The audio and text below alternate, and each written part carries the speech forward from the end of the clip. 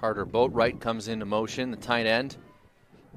Perry to the air for the first time, and that pass is caught and then fumbled and fallen on by another owl. LaJohntay Wester fell on the loose ball. It does not look like the officials are going to mark down the receiver initially. It was Jahmal Edrine who made the initial catch and then fumble.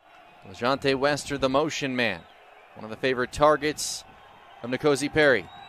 Perry facing pressure, loses the football. Jadrian Taylor knocked it loose, and FAU falls on it. But it'll be a sack fumble. Jadrian Taylor coming off the edge, applying the pressure and blowing up the play. Now the fullback James Tupou just to the left of Hardison with Hankins in the backfield. Play action. And they throw it to Tupou, the fullback, and he's rumbling his way down inside the 20 yard line. And for the first time this afternoon, the Miners are in the red zone. Gavin Baechle on the field for a 29 yard attempt from the left hash, and his kick is through for the first points of the afternoon. That is the 13th straight converted field goal for Gavin Baechle. Never looked back, scoring 17 unanswered for the 17 14 win. Here's the give to Mobley. He's got a lot of room. Big run across midfield and up near the 40 yard line, tripped up by Tyreek James. It is very breezy down on the field. Again, the Owls this quarter going into the teeth of that wind.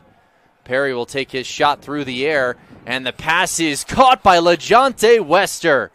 Boy, that was perfectly placed by N'Kosi Perry, and LaJohntay Wester showing the speed and how he can hurt you. Another I formation. Roll out for Perry, looking for somewhere to run, but he's got a wall of UTEP defenders, and they loses the football. It's scooped up by Tyreek James. He just has to be one man, but he's tripped up at the 35 yard line. That was nearly a scoop and score touchdown for Tyreek James after a disastrous decision from N'Kosi Perry. Some old fashioned football all of a sudden. You don't see this very often in college football anymore. Play action. Hardison with some time, but running out of it, and he'll go down. Pressure coming from the edge. It was Michael Antoine Jr. Now a third and 15. Another design quarterback keeper. Hardison finds a hole, and he falls forward, and they're going to mark him. Oh boy, just about a half a yard shy. He needed to get to the 44 yard line. Owls need to get to the 47 yard line of UTEP, just beyond it. UTEP brings the blitz. Perry under pressure, throws. Open receiver is Wester, and he's able to make the catch for the first down, just shy of the 30 yard line. Ball marked at the 32 yard line. And now this is McCammon with a big hole. A burst across the 10 and into the end zone for the first touchdown of the afternoon. Just like that, the Owls in front 6 3. Huge hole for Larry McCammon. Doesn't even get touched until he's almost into the end zone. 32 yard run for McCammon. And Neil, you may remember, was the one. Michael Antoine breaking up the play. He's had a good afternoon so far. Screen pass here. And Awatt with a ton of room cuts it back inside. Awatt lowers the shoulder and then is driven out of bounds at about the 20 yard line. Boy, Awatt just had a sea of green to run on once he caught that ball. 33 yard attempt from dead center. Gavin Baechle's kick is good. Just sneaks through the right up upright. Favorite target has been Wester in the slot. Perry with time. Now running out of it. Runs into his own man, and he's going to go down at the 35 yard line. And now you wonder are they even in field goal range?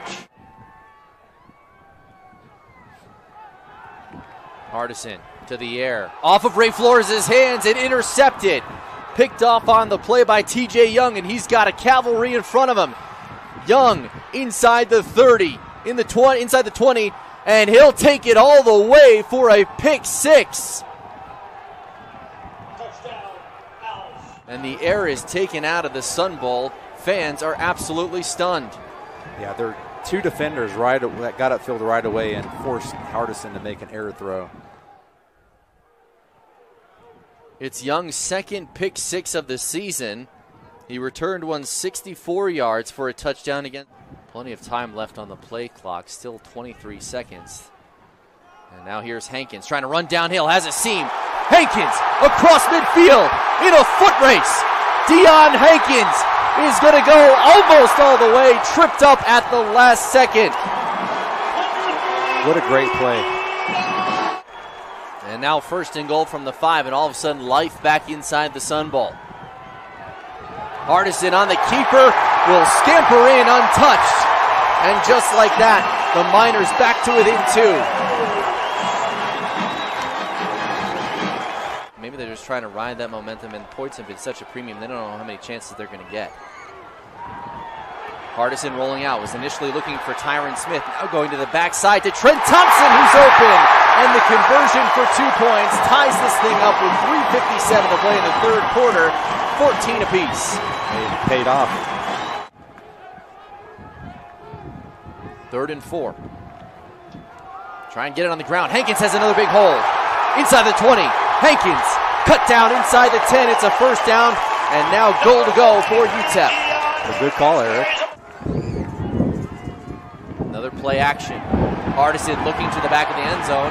Now will settle for Ray Flores at the goal line. He's in for six. He was looking for the tight end, didn't like what he saw, and all of a sudden looked, and there was Ray Flores wide open at the goal line, and the Miners retake the lead for the first time since the first half.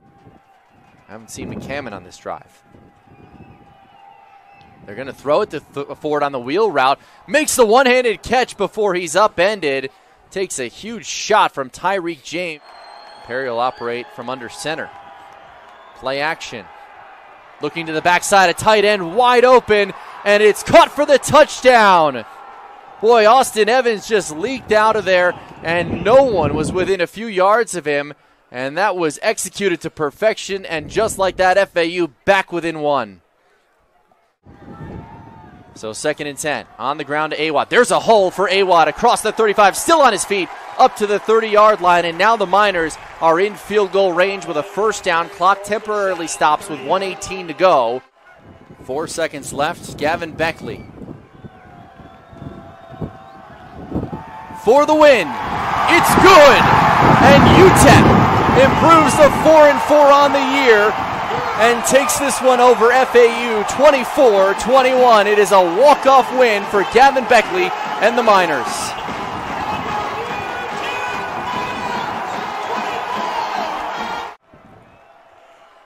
Four seconds left. Gavin Baechle for the win. It's good. And UTEP improves the 4 and 4 on the year and takes this one over FAU 24 21. It is a walk off win for Gavin Baechle and the Miners.